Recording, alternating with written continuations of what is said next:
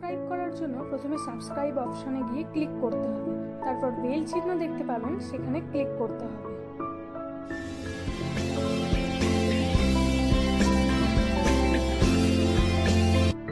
নমস্কার বন্ধুরা, বাংলা কার্নিভালে সকল দর্শক বন্ধুকে স্বাগত জানিয়ে আজকের এই অনুষ্ঠান শুরু করছি। আজকে আমি তোমাদের সঙ্গে কমলা লেবুর উপকারিতা সম্পর্কে আলোচনা করব। বন্ধুরা, শীতকাল মানেই কিন্তু হরেক রকম শাকসবজি। তেমনই শীতকাল মানেই কিন্তু হরেক রকমের ফলের বাহার। তার মধ্যে কমলা লেবু কিন্তু অন্যতম।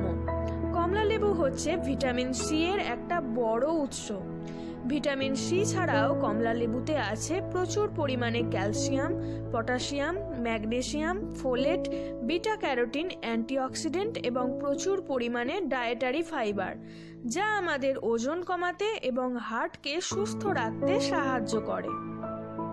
ঠান্ডা লাগা, কানের ইনফেকশন প্রতিরোধ করতেও সাহায্য করে কমলা লেবু, কারণ কমলা লেবুতে আছে ভিটামিন সি এছাড়া এতে আছে প্রচুর পরিমাণে ভিটা ক্যারোটিন যা সেল ড্যামেজের প্রতিরোধে সাহায্য করে। এছাড়া এতে রয়েছে বন্ধুরা প্রচুর পরিমাণে ক্যালসিয়াম, যা আমাদের হাড়কে শক্ত রাখতে সাহায্য করে।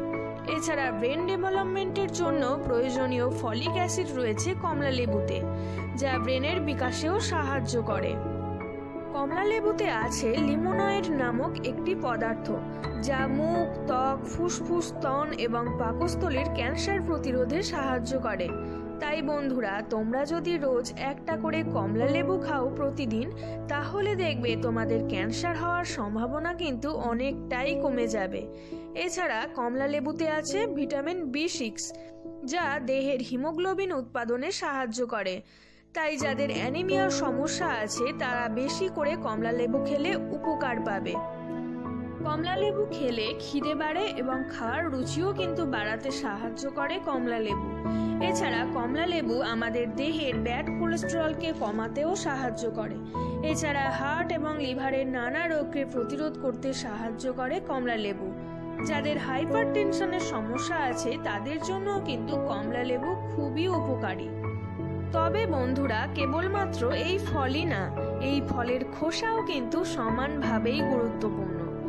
রূপচর্চায় কমলা লেবুর খোসা কিন্তু খুবই একটা উপকারী উপাদান। ব্ল্যাক হেডস দূর করতে সাহায্য করে কমলা লেবুর খোসা। কমলা লেবুর খোসা দাঁতের হলদে ভাবও কিন্তু দূর করতে দারুণ কার্যকরী। কমলা লেবুর খোসাকে বেটে টুথপেস্টের মতো ব্যবহার করলে দাঁতও হয়ে উঠবে সাদা এবং ঝকঝকে।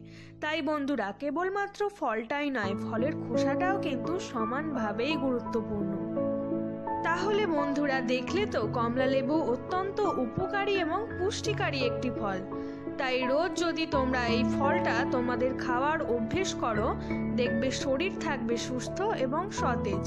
তো বন্ধুরা, তোমাদের যদি আজকের এই অনুষ্ঠানটি ভালো লেগে থাকে, অবশ্যই তোমরা কিন্তু আমাকে কমেন্ট করে জানিও।